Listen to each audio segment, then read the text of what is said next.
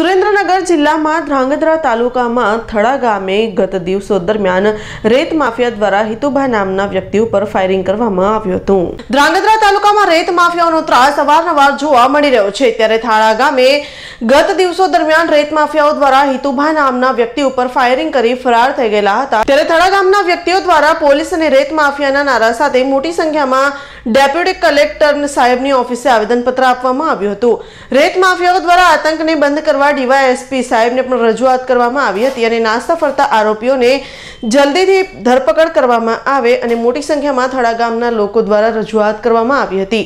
DYSP દ્વારા જણાવવામાં આવ્યું હતું કે જલ્દી આરોપીઓને પકડીને કાર્યવાહી કરવામાં આવશે. ગામ થાળા.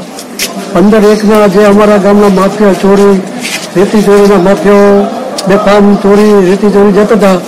તેથી ગામ લોકોએ એને ધરપકડ કરવા માટે પોલીસ ફરિયાદ કરેલ, પોલીસે અમે ડેપ્યુટી કલેક્ટર આવેદનપત્ર આપેલ છે. અને સખ્તમાં સખ્ત સજા થાય એવી અમારી ગામ લોકોની, થાળા ગામ લોકોની માંગ છે. જેથી કરી પોલીસ અમે તાત્કાલિક એની કાર્યવાહી કરી અને ધરપકડ કરે એ ગામ લોકોને રજૂઆત છે. શાહરૂખ સિપાહીનો રિપોર્ટ ધ્રાંગધ્રા.